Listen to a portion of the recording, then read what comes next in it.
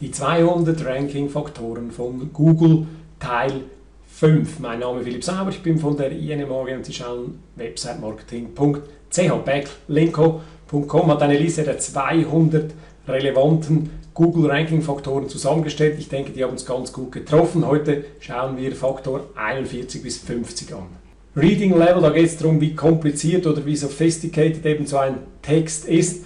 Das heißt, umso mehr Basic, also umso einfacher das geschrieben ist, umso mehr Menschen interessiert sich dafür, könnte also ein Vorteil sein, vielleicht nicht zu kompliziert schreiben. Affiliate Links, also Links, die rausgehen von Affiliate-Programmen, das kann, das kann nichts mehr schaden heute, sollte auch nichts mehr schaden, man kann es übertreiben, wenn man also merkt, dass es nur noch um das geht, also nur noch um Geld zu verdienen mit Affiliate Links, kann es ein Problem geben. W3C-Validierung, das heißt, da geht es darum, wie gut ist mein Code geschrieben, gemäß gemäß den Richtlinien von W3C, ist ein Faktor, der sicherlich was bringt, sollte aber auch nicht unbedingt überbewertet werden. Dann Page Host Domain Authority, das ist ein ganz bescheidener Faktor in meinen Augen, also wo Sie hosten, kann einen Einfluss auf Ihr Ranking haben, ist meines Erachtens nach kein großes Thema, hat mehr damit zu tun, wie die Seite dann eben performt, wie schnell die Hosting-Leitung ist und so weiter.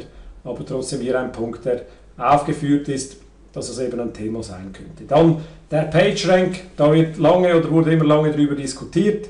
Auch hier habe ich eine Meinung und da steht auch so, hier Sites mit hohem PageRank werden besser gerankt als solche mit tiefen. Ich denke also immer noch, dass das ein Zeichen ist, muss aber auch nicht unbedingt so sein. Die URL-Länge ist klar, umso kürzer ein URL, umso besser. Bis zu einem gewissen Maße natürlich macht es wahrscheinlich nichts aus, aber irgendwann bei einem gewissen Punkt wird es dann zu lang. Also schauen Sie, dass Sie keine zu langen und auch kryptischen URLs haben.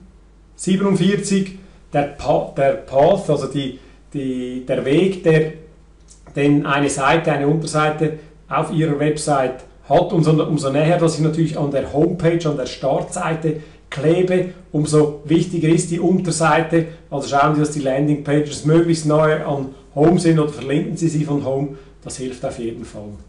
Human Editors habe ich noch nie gehört vorher. Da geht es darum, dass eben Menschen auf das Ranking Einfluss nehmen. Google hat das, streitet das allerdings ab. Es wird hier aber geschrieben, dass das möglich, ein möglicher Faktor sei. Kann man natürlich dann schlecht beeinflussen.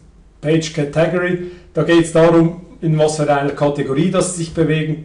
Kategorisiert die einzelnen Seiten zu gewissen Themen. Und es ist klar, wenn Sie natürlich ein Thema schreiben, das nichts mit ihrer Hauptkategorie zu tun hat, ist es schwieriger, dort positioniert zu sein. Darum wird es auch immer schwerer, die Relevanz bei Firmen oder auch beispielsweise bei Hotels zu behalten, die über zu viele Bereiche berichten auf so einer Seite drauf. Das kann negativ sein. WordPress, Tags, da geht es sicherlich um, um die Vertagung von Artikeln und es klar, umso mehr Sie um ein Thema schreiben, umso besser werden Sie zu dem Thema gerankt.